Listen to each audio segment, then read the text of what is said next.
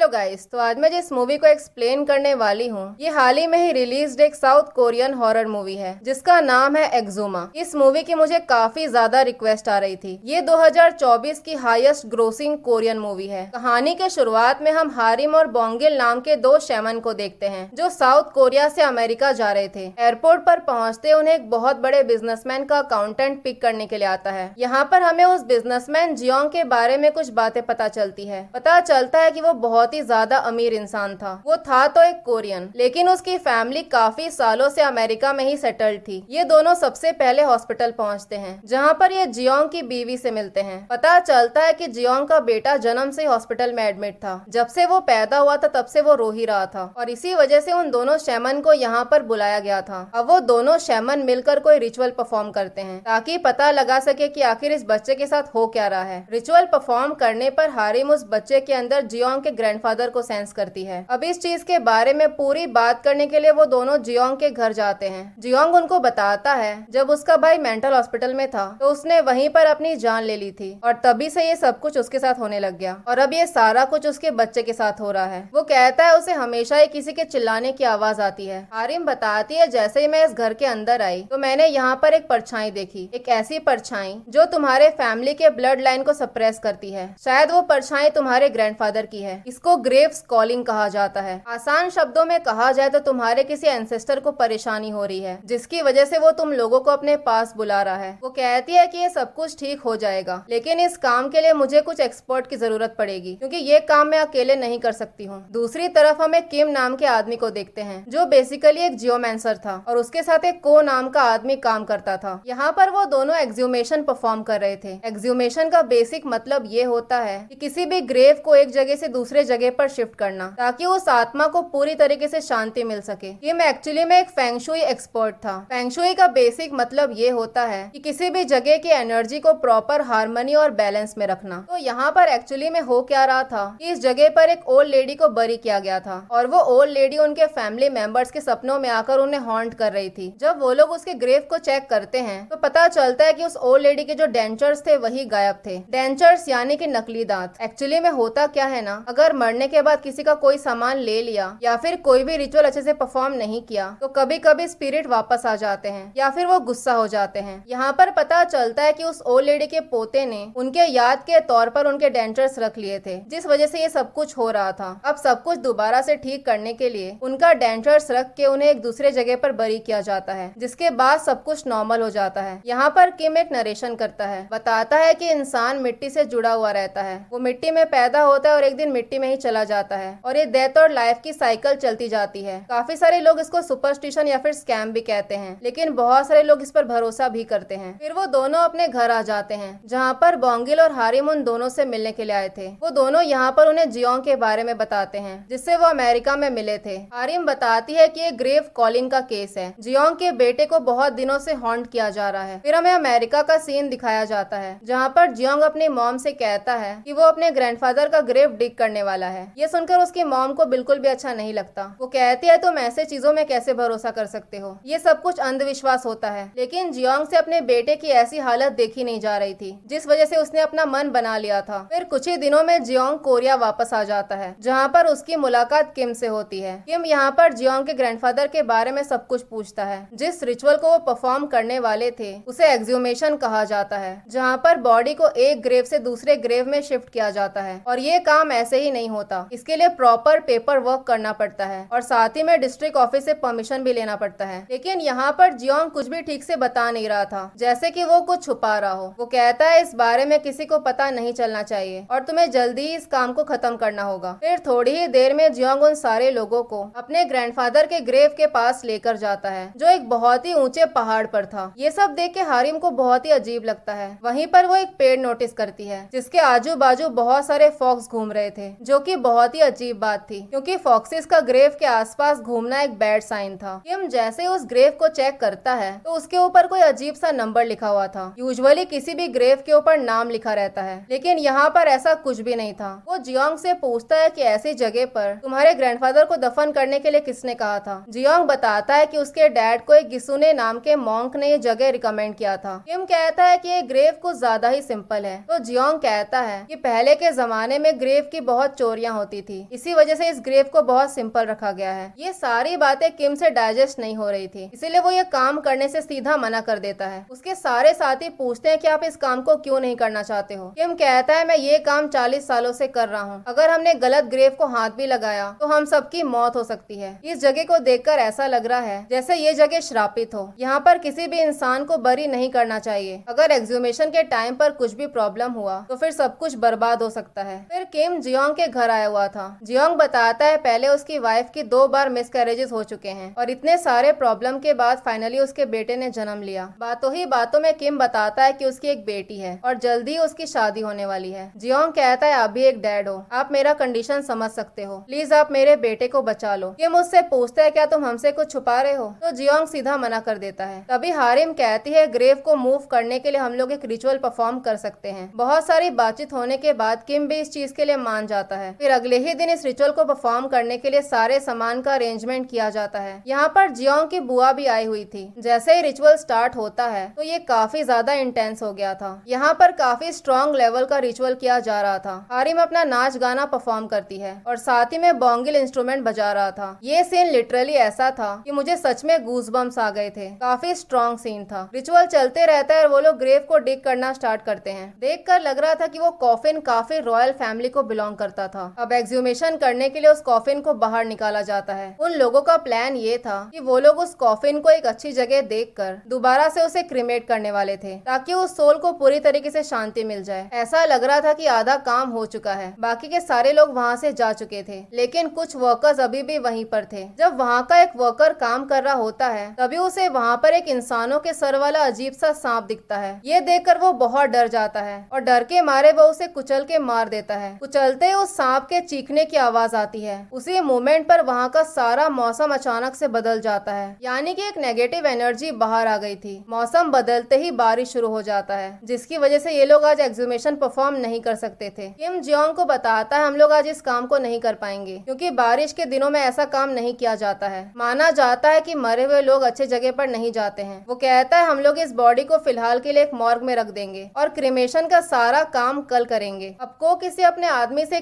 कहकर उस कॉफिन को एक मॉर्ग में रखवा देता है। किम को जियोंग की फैमिली पर बहुत शक हो रहा था। उसे ऐसा लग रहा था कि ये लोग ज़रूर कुछ छुपा रहे हैं। और इसी बात का पता लगाने के लिए वो बाजू वाले टेंपल में जाता है। उस टेंपल में उसे एक मॉन्क मिलता है। किम उससे पूछता है, क्या इस टेंपल के हेड मॉन्क का नाम गिसुने था क्या? गिसुने का नाम जियोंग ने ही किम को बताया था। प्रेजेंट में वो किसी और ही मॉन्क का नाम बताता है। कहता है, गिसुने के बारे में मैंने पहले कभी सुना ही नहीं है। वो आदमी उससे पूछता है, तुम ये सब कुछ क्यों पूछ रहे हो? किम कहता है, ऊपर के माउंटेन पर एक ग्रेव है, जिसके ऊपर किसी का भी नाम नहीं लिखा है। वो आदमी बताता है, उस ग्रेव के बारे में पुराने जमाने में बहुत सारी अफवाहें थी। लोग कहते थे कि उस ग्रेव के नीचे खजाना छुपा हुआ है। इसी वजह से पहले के टाइम में बहुत सारी ग्रेव की चोरियाँ होती थी। साथ ही में वो आदमी उसे कुछ इक्विपमेंट्स दिखाता है। कहता है ये उन्हीं लोगों ने छोड़ा है, जो ग्रेव की चोरियाँ करते थे। वो आदमी पूछता है कि, तुम इतने इंटरेस्टेड क्यों हो? किम कहता है, हम लोगों ने आज ही उस ग्रेव को डिग किया है। दूसरी तरफ़ हम उसी आदमी को देखते हैं, जिसके मॉर्ग में उस कॉफिन को रखा गया था। उस आदमी को भी ऐसा लगता है कि इसके अंदर खजाना है। अब खजाने की लालच में वो उस कॉफिन को खोलने लग जाता है। तभी बोंगिल और हारिम अंदर की तरफ़ आ रहे थे। उसी मोमेंट पर उस कॉफिन के अंदर से एक सोल बाहर निकलता है। वो एनर्जी इतनी ज़्यादा ताकतवर थी कि इस चक्कर में हारिम बीमार पड़ जाती है। वो बताती है कि उस कॉफिन से कुछ बाहर आया है, जो कि बहुत ही ज़्यादा खतरनाक है। दूसरी तरफ़ हमें अमेरिका का सीन दिखाया जाता है, जहाँ पर जियोंग के डैड बिल्कुल खिड़की के सामने बैठे थे। वो पहले से ही पैरालाइज थे और हर टाइम अपने डैड को याद करते रहते थे। तभी उन्हें अपने डैड के स्पिरिट की आवाज़ आती है। वो कहते हैं, मेरे लिए दरवाज़ा खोलो। ऐसा कहा जाता है, जब तक आप खुद से दरवाज़ा या खिड़की नहीं खोलते हो, तब तक कोई भी स्पिरिट अंदर नहीं आ सकता है। अपने डैड की आवाज़ सुनकर वो खिड़की खोल देता है। अंदर आते ही वो अपने बेटे और अपनी बहू दोनों को खत्म कर देता है। इस तरफ़ हारिम किम से कहती है, आप अभी के अभी सोल जाइए और मैं उस स्पिरिट को दोबारा से ग्रेव में लाने का रिचुअल स्टार्ट करती हूँ। सौ सालों से वो स्पिरिट चीख रहा है, चिल्ला रहा है। किसी ने भी उसकी मदद नहीं की। इसी वजह से उसके मन में बस गुस्सा भरा हुआ है, जिस वजह से वो अपने ही ब्लड लाइन के लोगों को मारने के लिए निकला है। फिर हारिम और बोंगिल उस स्पिरिट को दोबारा से ग्रेव में लाने के लिए रिचुअल स्टार्ट करते हैं। इस रिचुअल को इसीलिए परफॉर्म किया जा रहा था, ताकि वो स्पिरिट बोंगिल के शरीर में आ सके और हारिम उस स्पिरिट से बात कर सके। थोड़ी ही देर में बोंगिल पोजेस हो जाता है, यानी कि वो स्पिरिट उसके अंदर आ चुकी थी। हारिम उससे बहुत ही प्यार से बात करती है। पूछती है, तुम इतना गुस्सा क्यों हो? सारा कुछ यहीं पर छोड़कर दोबारा से वापस चले जाओ। स्पिरिट कहता है, वो अपने सारे सारे बच्चों को अपने साथ लेकर जाएगा। फिर थोड़ी ही देर में वो बोंगिल के शरीर से वापस निकल जाता है। दूसरी तरफ़ जियोंग के पास किम का कॉल आता है और किम उसको पूरी बात समझाता है। उसी मोमेंट पर उसे दरवाजे पर नॉक होने का आवाज़ आता है, जो कि किम का ही आवाज़ था। यानी कि फ़ोन पर भी किम था और दरवाजे पर भी किम था। फ़ोन वाला किम कहता है, तुम किसी भी हालत में दरवाज़ा मत खोलना। तुम दरवाजे से दूर हो जाओ और विंडो खोलो जियोंग को कुछ भी समझ में नहीं आता और वो विंडो खोल देता है। उसी मोमेंट पर उसे उस इवल स्पिरिट के हंसने की आवाज़ आती है। वो जैसे ही ऊपर की तरफ़ देखता है तो वो स्पिरिट वहीं पर था। दरवाजे पर जो किम था, वो एक्चुअली में असली किम था। लेकिन उसके अंदर आने से पहले ही, वो स्पिरिट जियोंग को पोजेस कर लेता है। वो स्पिरिट इतना ज़्यादा प्यासा था कि वो भर भर के पानी पी रहा था और वो कंटिन्यूसली एक ही बात दोहरा रहा था। कह रहा था कि फॉक्स ने टाइगर का वेस्ट कट कर दिया। यहाँ पर हमें ये सच्चाई पता चलती है कि आखिर ये लोग इतने अमीर हुए कैसे थे। जब कोरिया और जापान का वॉर हुआ था, उस टाइम पर जियोंग के ग्रैंडफादर और बाकी के एंसेस्टर्स ने कोरिया का नहीं, बल्कि जापान का साथ दिया था। यानी कि उन लोगों ने पैसों के लिए कोरिया को धोखा दे दिया था। और ग्रैंडफादर की सोल इन लोगों के पीछे इसीलिए पड़ी थी, क्योंकि जिनकी वजह से ये लोग अमीर हुए थे। उसी इंसान की इन लोगों ने अच्छे से रिस्पेक्ट नहीं की। उनकी रिस्पेक्ट करने के लिए कोई भी रिचुअल परफॉर्म नहीं किया। और बहुत ही आराम से अमेरिका में सेटल हो गए। जियोंग यहाँ पर कुछ बताने की कोशिश कर रहा था, लेकिन उसके पहले ही ग्रैंडफादर का स्पिरिट उसे खत्म कर देता है। अब वो स्पिरिट जियोंग के बेटे को मारने के लिए हॉस्पिटल पहुँच जाता है। किम उनकी फैमिली से कहता है, हमें अभी की अभी बॉडी को क्रिमेट करना होगा। अगर हमने ऐसा नहीं किया तो फिर बच्चे की जान भी जा सकती है। लेकिन इतनी रात को वो लोग क्रिमेशन का काम नहीं कर सकते थे। इसीलिए पूरे कॉफिन को जलाना ही बेस्ट ऑप्शन था। अब किम जियोंग की बुआ, यानी कि उस ग्रैंडफादर की बेटी से परमिशन माँगता है। कहता है, हमें उस बॉडी को जलाना ही होगा, वरना वो उस बच्चे को नहीं छोड़ेगा। और होता भी बिल्कुल ऐसा ही है। वो स्पिरिट बच्चे के पास पहुँच जाता है। अब किम को कॉफिन जलाने की परमिशन मिल गई थी। जैसे ही वो कॉफिन जलना शुरू होता है। धीरे धीरे करके वो स्पिरिट कमज़ोर हो जाता है और जियोंग के बेटे की जान बच जाती है। ऐसा लग रहा था कि सब कुछ नॉर्मल हो चुका है, लेकिन असली कहानी अब शुरू होने वाली थी। फिर काफ़ी दिनों के बाद किम को एक वर्कर के बारे में पता चलता है, जो बहुत दिनों से बीमार था। इसीलिए किम उस आदमी से मिलने के लिए जाता है। वो आदमी बताता है कि बहुत दिनों से वो पागल सा हो रहा है। उसे हर वक्त स्नेक्स हॉन्ट करते रहते हैं। वो बताता है कि ये सब कुछ उस दिन से शुरू हुआ, जिस दिन वो लोग ग्रैंडफादर के ग्रेव के पास गए थे और काम करते वक्त उसे एक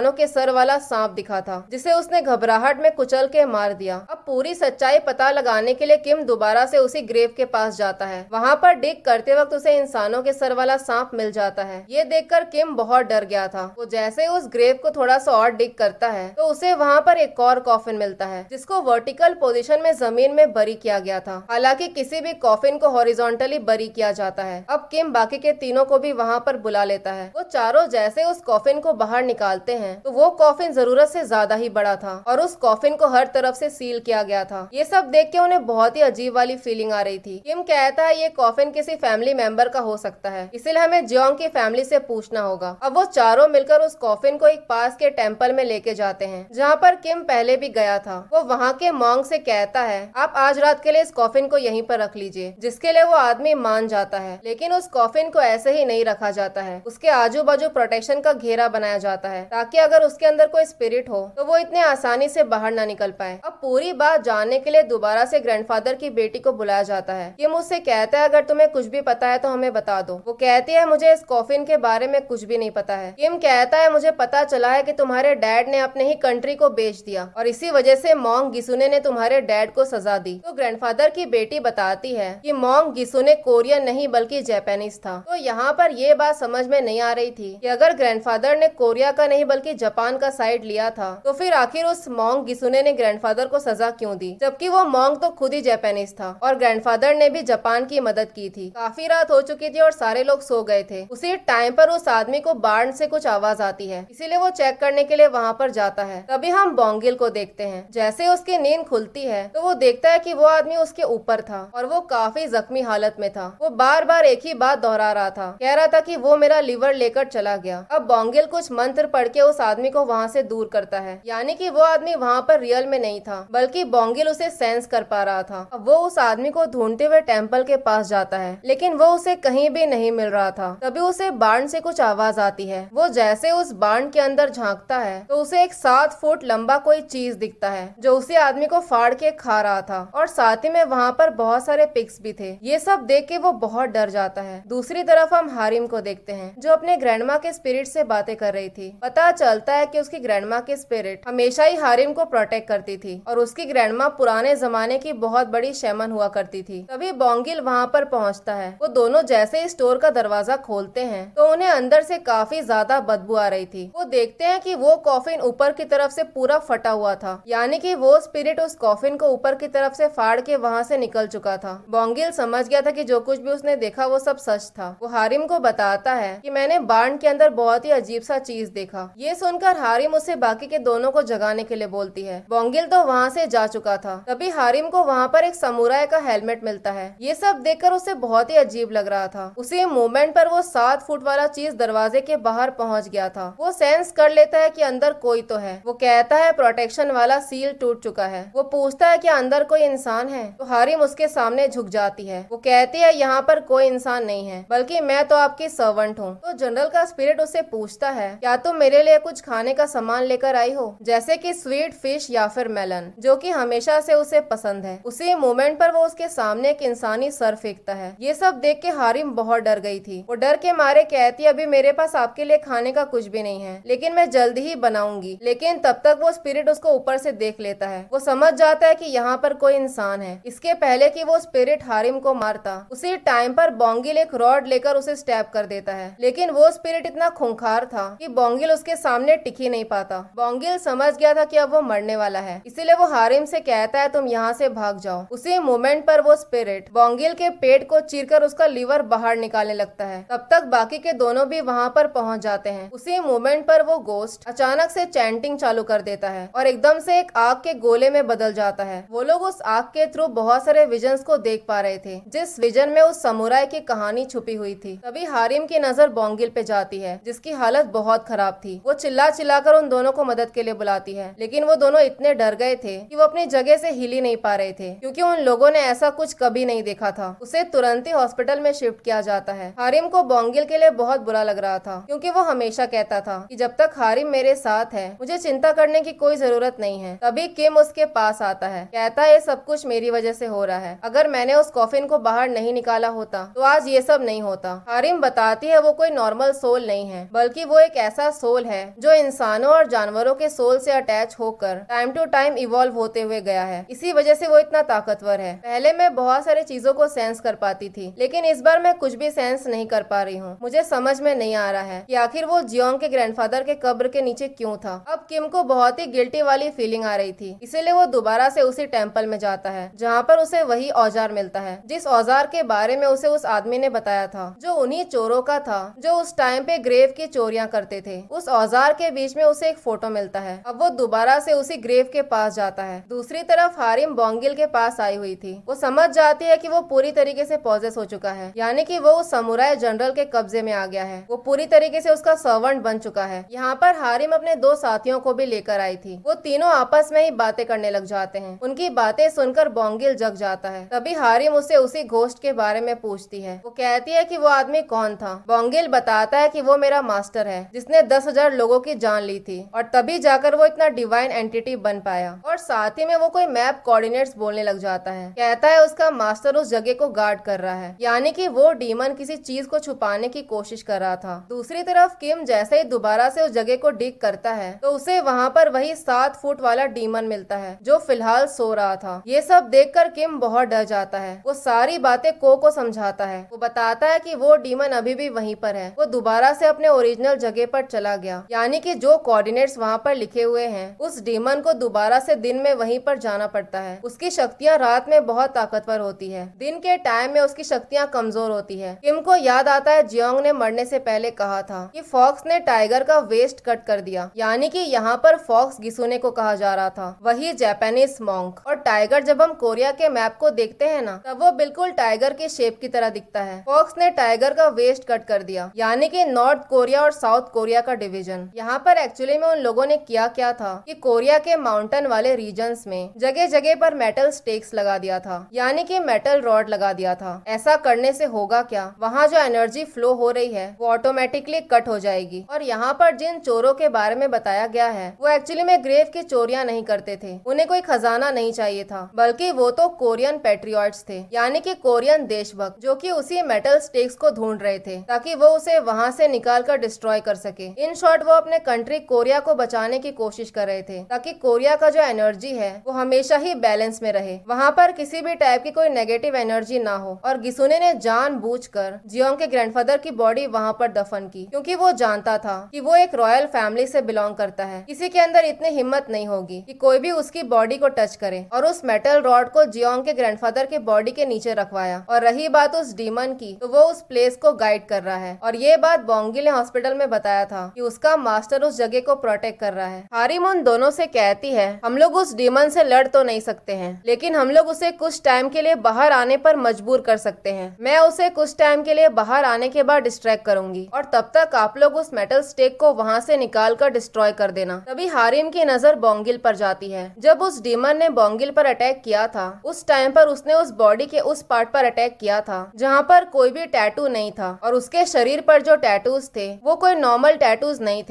बल्कि बोंगिल ने प्रोटेक्शन के लिए उन टैटूज को अपने शरीर पर बनवाया था। अब अगले ही दिन वो तीनों अपने शरीर पर वही प्रोटेक्शन वाला टैटूज बनाकर निकल जाते हैं, ताकि वो डीमन इतनी आसानी से इन पे अटैक न कर पाए। तो उनका प्लान ये था कि हारिम कुछ टाइम के लिए उस डीमन को डिस्ट्रैक्ट करेगी, और तब तक किम और कोम मिलकर उस मेटल स्टेक को डिस्ट्रॉय कर देंगे। वो लोग अपने साथ स्वीट फ़िश लेकर आए थे, जो कि उस डीमन को बहुत पसंद था। वो जगह जगह पर फिशेस गिरा देते हैं, ताकि वो डीमन खाने के लालच में डिस्ट्रैक्ट होकर बाहर निकल जाए। दूसरी तरफ़ हम बोंगिल को देखते हैं। हारिन ने उसे अपने साथियों के साथ वहाँ पर छोड़ दिया था और उन लोगों से कहा था कि तुम लोग किसी भी हालत में बोंगिल को प्रोटेक्ट करना, क्योंकि वो डीमन बोंगिल को अपने साथ ले जाने की पूरी कोशिश करेगा। इस तरफ़ वो जनरल का डीमन प्लान के अकॉर्डिंग हारिम तक पहुँच जाता है, जो की उसी पेड़ के पीछे छुपी हुई थी। और दूसरी तरफ़ से ये दोनों डिग करना स्टार्ट करते हैं। इस तरफ़ हारिम जापानीज में बात करते करते उस डीमन को डिस्ट्रैक्ट कर रही थी। जनरल यहाँ पर अपनी वॉर वाली कहानी बताना स्टार्ट करता है। कि गिसुने ने कौन सी चीज़ कैसे की और कब की? वो बताता है कि गिसुने उसे किसी रॉयल जगह पर लेकर जाने वाला था, लेकिन उसने उसे यहाँ पर बंद कर दिया। जनरल तो अभी तक इसी भ्रम में जी रहा था, जैसे कि जापानीज कोरियन वॉर अभी तक चल रहा है। दूसरी तरफ़ ये लोग काफ़ी देर तक डिग करते हैं, लेकिन उन्हें वहाँ पर कोई भी मेटल स्टेक नहीं मिलता। इस तरफ़ हारिम का प्लान फेल हो जाता है, क्योंकि वो डीमन सब कुछ समझ चुका था कि हारिम उसे डिस्ट्रैक्ट करने की कोशिश कर रही है। वो हारिम को मारने के लिए आगे बढ़ने लग जाता है, लेकिन ठीक उसी टाइम पर हारिम के ग्रैंडमा की स्पिरिट वहाँ पर पहुँच जाती है और उनको देख वो कुछ भी नहीं कर पाता। हारिम भागते भागते को से टकरा जाती है। उसी मोमेंट पर वो देखते हैं कि वो डीमन दोबारा से उसी जगह पर जा रहा था और वहाँ पर किम बिल्कुल अकेला था। किम को समझ में नहीं आता कि आखिर वो मेटल स्टेक वहाँ पर क्यों नहीं है। वो जैसे ऊपर की तरफ़ देखता है तो वो डीमन वहीं पर था। वो दोनों उसे वहाँ से निकल कर भागने के लिए बोलते हैं, लेकिन किम वहाँ से जरा भी नहीं हिलता। अब किम को पूरी बात समझ में आती है। उसे याद आता है कि ये डीमन हमेशा इस जगह पर वापस आ जाता है और जिस कॉफिन में उस डीमन को रखा गया था, उस कॉफिन को वर्टिकली बरी किया गया था, जबकि किसी भी कॉफिन को वर्टिकली बरी नहीं किया जाता है। उसी मोमेंट पर वो डीमन उसके सामने आ जाता है और पूछता है, क्या तुम मेरे सर्वेंट बनना चाहते हो? या फिर मुझे अपना लीवर देना चाहते हो? अब वो एकदम से अपना हाथ घुसाकर उसका लीवर निकालने लग जाता है। उन दोनों के पास कोई ऑप्शन नहीं था। को जो हॉर्स ब्लड लेकर आया था, वो उस डीमन के ऊपर गिराने लग जाता है, जिससे वो कुछ टाइम के लिए जलने लग जाता है। किम समझ चुका था कि वो मेटल स्टेक और कोई नहीं, बल्कि वो डीमन खुद है। अब जब वो दोनों किम को बचाने के लिए आते हैं तो वो डीमन उन दोनों पे अटैक कर देता है। उसी मोमेंट पर उन तीनों को उस जनरल के सारे विजन दिखने लग जाते हैं कि आखिर पास्ट में हुआ क्या क्या था? कि आखिर इस डीमन को बनाया कैसे गया था? यहाँ पर जो सफ़ेद चेहरे वाला आदमी था, वो एक्चुअली में मोंग गिसोने था। यानी कि जिन फॉक्स को हमने स्टार्टिंग में पेड़ के पास देखा था, वो मोंग गिसोने था, जो कि फॉक्स के रूप में उस जगह को प्रोटेक्ट कर रहा था। गिसोने ने ये सब इसीलिए किया था ताकि वो कोरिया के अंदर होते हुए डेवलपमेंट्स को रोक सके। यहाँ पर जो अच्छी एनर्जी फ्लो करती है, उसका बैलेंस बिगाड़ सके। इसीलिए उन लोगों ने कोरिया के माउंटेन्स वाले रीजन पर जगह जगह पर मेटल स्टेक्स लगाया था। गिसुने जानता था कि नॉर्मली किसी भी मेटल स्टेक को ढूंढना आसान है। इसीलिए उसने जान एक ऐसे जनरल की बॉडी ली, जिसने दस हज़ार लोगों को मारा था। यानी कि उस जनरल के अंदर दस हज़ार लोगों की नेगेटिव एनर्जी थी। उसको डीमन में कन्वर्ट करने के लिए उन लोगों ने एक तलवार का यूज़ किया था। उस तलवार के साथ उन लोगों ने एक रिचुअल परफॉर्म किया था। और जहाँ तक मुझे समझ में आ रहा है, मुझे ऐसा लगता लगता है ये वही तलवार है, जो जनरल ने वॉर के टाइम पर यूज़ किया होगा। और इसी तलवार से उसने सारे लोगों की जान ली होगी। मैं इसके बारे में श्योर तो नहीं हूँ, लेकिन मुझे ऐसा लग रहा है। फिर उन लोगों ने उस तलवार को जनरल के गर्दन में डाल दिया था और उसके बाद उसकी पूरी बॉडी स्टिच कर दी, जिसके बाद वो एक डीमन बन चुका था। और उसके बाद उसे उसी कॉफिन में बंद करके ग्रेव में वर्टिकली बरी कर दिया था, ताकि इसके बारे में कोई पता ही ना लगा सके कि मेटल स्टेक और कोई नहीं, बल्कि ये डीमन खुद है। और जान बूझकर जियोंग के ग्रैंडफादर की बॉडी को वहीं दफन किया गया था, ताकि किसी को चाह कर भी शक न हो। किम समझ जाता है कि उसे इस डीमन को कैसे खत्म करना है। जब भी किसी ऑपोजिट चीज़ को मिलाया जाता है, तब एक बहुत बड़ा रिएक्शन होता है। जैसे आग को बुझाने के लिए पानी का यूज़ किया जाता है, वैसे ही मेटल और वुड ऑपोजिट होते हैं। और डीमन को खत्म करने का एक ही तरीका था। उसे एक गीली लकड़ी से स्टैब करना था। किम उस लकड़ी को उसके पैरों में स्टैब कर देता है, जिसका रिएक्शन इतना ज़्यादा था कि वो बोंगिल तक फील कर पा रहा था। वो ज़ोर से चिल्लाने लगता है। जब को उसको कुल्हाड़ी से मारने की कोशिश करता है तो उस डीमन को कोई असर नहीं पड़ता, क्योंकि वो खुद ही मेटल स्टेक था। अब किम उसी लकड़ी को यूज़ करके जनरल के शरीर को दो टुकड़ों में काट देता है। जैसे ही वो डीमन खत्म हो जाता है बोंगिल भी पोजिशन से बाहर आ जाता है। यानी कि वो बिल्कुल नॉर्मल हो चुका था। डीमन तो खत्म हो चुका था, लेकिन किम की हालत बहुत खराब थी। वो लोग तुरंत ही उसे हॉस्पिटल में शिफ्ट करते हैं। उसकी कंडीशन काफ़ी ज़्यादा खराब थी, लेकिन फिर भी धीरे धीरे करके वो रिकवर होने लग जाता है। और बोंगिल भी काफ़ी हद तक ठीक हो चुका था। अब सारे लोगों की लाइफ धीरे धीरे करके नॉर्मल हो जाती है। सब दोबारा से अपने काम में लग जाते हैं। मूवी के लास्ट सीन में हमें किम की बेटी का शादी दिखाया जाता है, जहाँ पर बाकी के सारे लोग भी आए हुए थे। और इसी हैप्पी एंडिंग के साथ ये मूवी यहीं पर खत्म हो जाती है। मुझे लिटरली इस मूवी को एक्सप्लेन करने के लिए इस मूवी को दो बार देखना पड़ा, क्योंकि पहले बार में मुझे बहुत सारी चीज़ें समझ में नहीं आई। कुछ सीन्स को तो मुझे बहुत बार देखना पड़ा, क्योंकि इस मूवी में ऐसे ऐसे टर्म्स हैं जो मैंने पहले कभी सुने भी नहीं थे। बहुत सारी चीज़ों को तो मैंने गूगल पे सर्च किया। काफ़ी सारे आर्टिकल्स पढ़े, क्योंकि बहुत सारे सीन्स को मूवी के थ्रू डायरेक्टली समझा ही नहीं जा सकता है। कुछ कुछ सीन्स बहुत ही ज़्यादा कॉम्प्लिकेटेड थे, जैसे की वो लाइन फॉक्स ने टाइगर के वेस्ट को कट कर दिया। पहले तो मुझे ये समझ में नहीं आया की टाइगर है क्या। फिर मुझे पता चला की कोरिया का मैप टाइगर की तरह दिखता है, और आखिर गिसुने ने उस डिमन को बनाया कैसे? ये भी मूवी में एक्सप्लेन नहीं किया गया है। बस वहाँ पर कुछ सीन्स दिखाए हैं, जिसको डायरेक्टली समझा नहीं जा सकता है। तो ये पहली मूवी थी, जिसके स्क्रिप्टिंग में मुझे बहुत मेहनत करना पड़ा। मुझे इस मूवी का कॉन्सेप्ट बहुत पसंद आया। प्लॉट काफ़ी ज़बरदस्त था हॉरर थोड़ा ज़्यादा होना चाहिए था। आप लोग मुझे कॉमेंट करके बताइए की आपको ये मूवी कैसी लगी। अगर आप लोगों को मेरी एक्सप्लेनेशन पसंद आई हो तो आप लाइक शेयर और सब्सक्राइब कर सकते हैं। Thank you so much for watching